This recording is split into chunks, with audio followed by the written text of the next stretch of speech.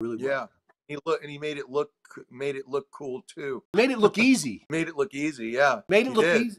Yeah, and now you got now you got uh, the- I see, but that's the great thing about when I look at the Satanic Temple. They can't pull it off aesthetically, and they can't do what he was doing. They got to keep Well, juggling. they don't they don't have the they don't have the charismatic leader. I mean, they they their their leaders are splintered. It seems.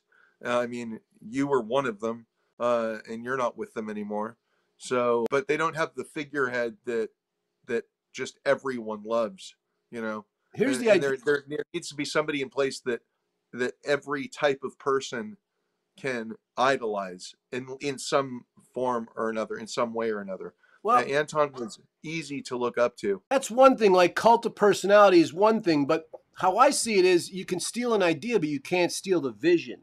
A vision No. is fluid. Idea is like Yeah. solid. Like this is the idea, but the and and LaVey had a Anton had a vision. Yeah. And, and so that's what keeps rippling. It's like water. Like I say, I'm like, Yeah. shit, it's rippling to this moment.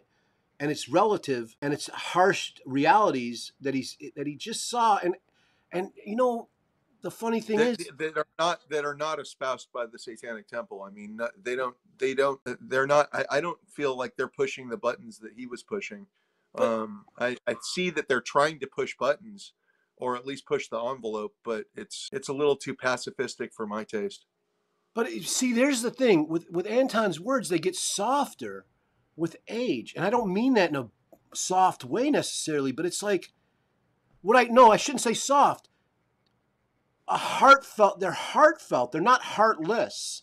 They're actually like I've looked at humanity and I care so much. I'm going to give my life to tell you what I see and how I see wrongs and rights within it.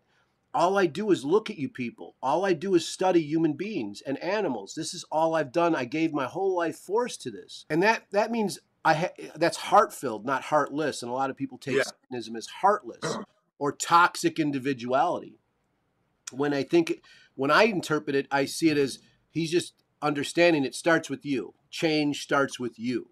So when a hippie says that, it sounds cool, but when LaVey says it's the individual first, it, it, it gets he attracts a lot of people that are uh, criminal minded in a way, and I don't mean in a bad way because I like criminal minds.